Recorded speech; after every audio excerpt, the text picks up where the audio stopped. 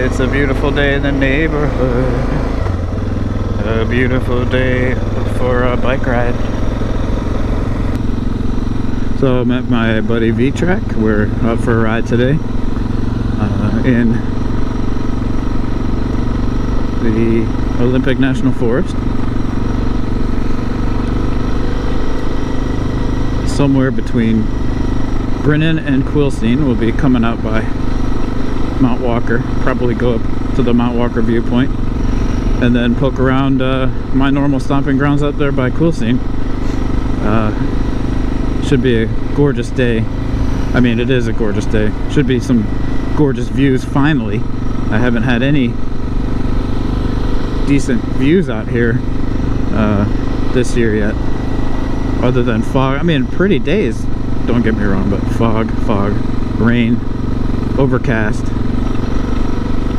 uh, limited visibility, so you can't really see the mountains very well. So yeah, we're just gonna be poking around. Not going too fast, not going too slow. I'm still on my death wings. Uh, yeah, still on the, the dang death wings. Look at that view.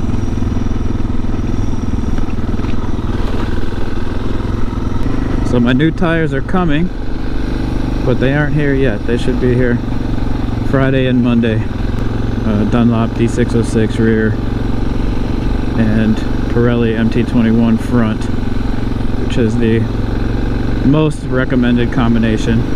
I had run this combo on the CRF 250L and it did well for me, so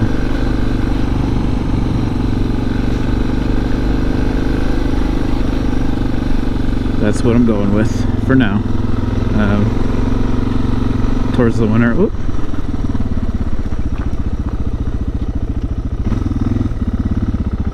Deer right there.